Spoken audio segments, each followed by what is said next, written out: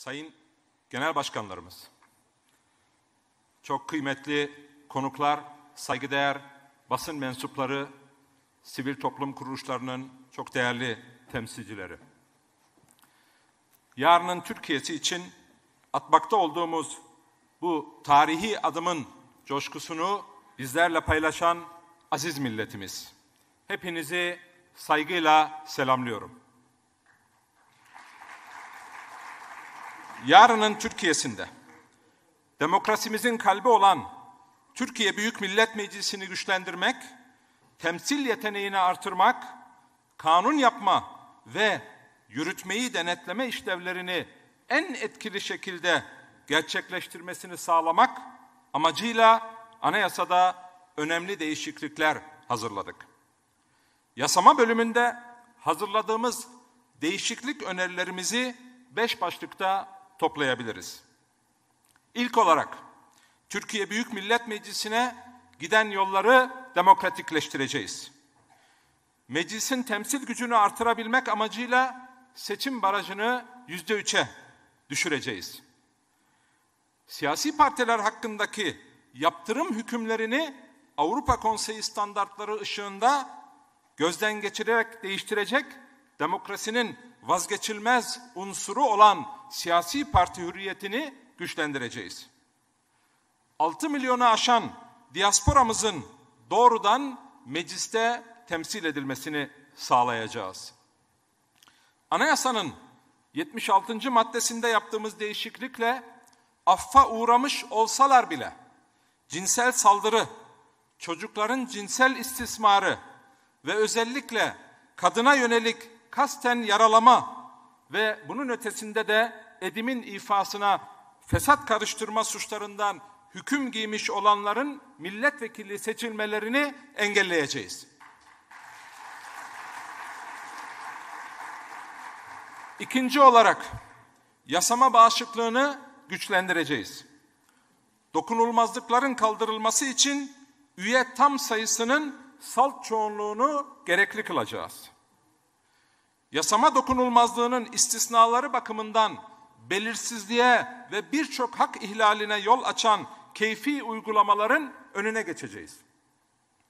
Milletvekilliğinin kesin hüküm giyme nedeniyle düşmesini bireysel başvuru yoluna gidilmesi halinde Anayasa Mahkemesi'nin bu konudaki kararını kararına kadar bekletileceği hükmünü açıkça anayasada düzenleyeceğiz.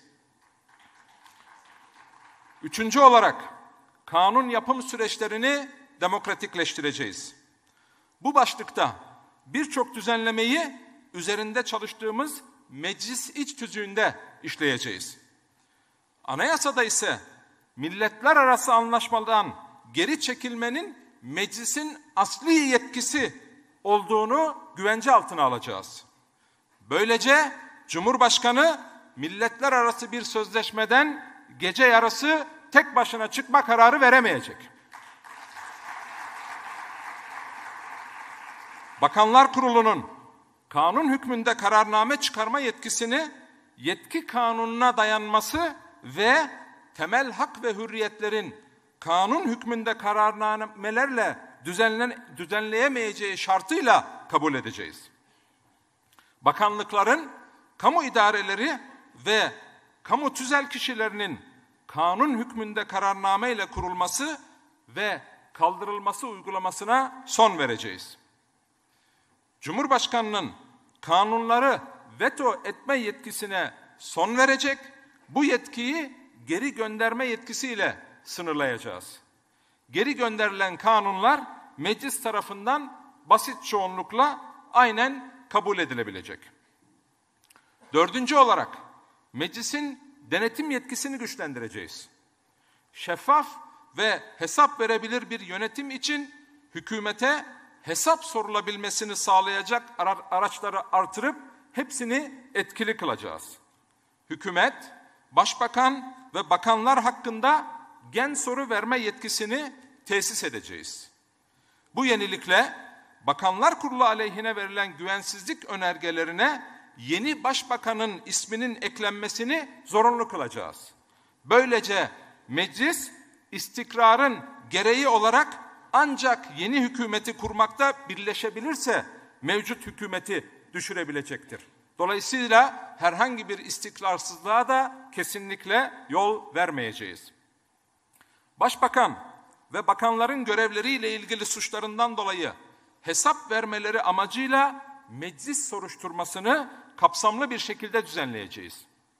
Başbakan ve bakanlar hakkında görevine ilişkin suç işlediği iddiasıyla soruşturma önergesi verilebilmesi için gerekli çoğunluğu indirerek denetimi kolaylaştıracağız. Bir yasama yılında en az 20 gün gündemi muhalefet tarafından belirlenen genel görüşme açılabilmesini anayasada açıkça düzenleyeceğiz. Türkiye Büyük Millet Meclisi'nin denetim araçlarından meclis araştırmasını herkesin Meclis Araştırma Komisyonu'nun davetine uymak zorunda olduğu ifadesiyle daha etkili kılacağız. Beşinci olarak parlamentoların tarihsel bir kazanımı olan bütçe hakkını devredilmezliği ilkesini tesis edeceğiz. Vatandaşlarımızdan toplanan vergilerin nasıl harcandığının etkili bir şekilde denetlenebilmesi için meclisin bütçe hakkını meclisin devredilmez bir yetkisi ve denetim aracı olarak tesis edeceğiz. Meclis bünyesinde kesin hesap komisyonu kuracağız. Komisyonun başkanı ana muhalefet partisinden olmasını anayasada açıkça düzenleyeceğiz. Çok kıymetli konuklar, saygıdeğer genel başkanlarımız, aziz milletimiz, bugün Türkiye anayasal düzen dışında tamamen keyfi bir biçimde otoriter bir anlayışıyla yönetilmeye çalışılmaktadır. Artık kanun devleti vasfından da ciddi manada uzaklaşmış bulunuyoruz maalesef.